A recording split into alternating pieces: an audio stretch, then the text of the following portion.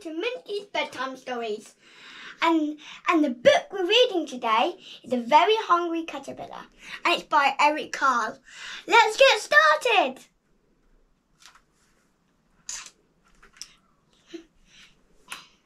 In the light of the moon, a little egg lay on a leaf. One Sunday morning, the one sun came up and popped out the egg. Came a tiny and very hungry caterpillar.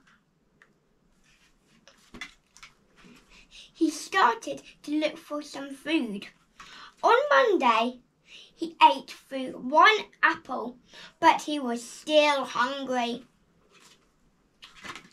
On Tuesday, he ate through two pears, but he was still hungry. On Wednesday, he ate through three plums, but he was still hungry. On Thursday, he ate through four strawberries, but he was still hungry.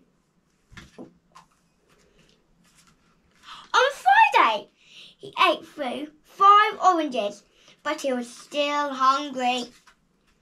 On Saturday, he ate through one piece of chocolate cake, one ice cream cone, one pickle, one slice of Swiss cheese, one slice of salami, one lollipop, some one piece of cherry pie, one sausage, one cupcake, and one slice of watermelon.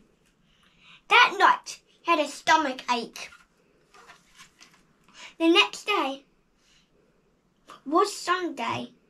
Again, the caterpillar ate through one nice green leaf, and after that he felt much better. Now he wasn't hungry anymore, and he was a, a little caterpillar anymore.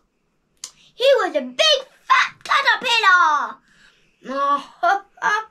he built a small house called a cocoon around himself. He stayed inside for more than two weeks. Then he nibbled a hole in the cocoon, pushes his way out, and he was a beautiful butterfly. Let's see them butterfly ears. Wings. Ha, ha, ha. That was amazing. Thank you for reading with me, No, Very Hungry Caterpillar. Bye! I'll see you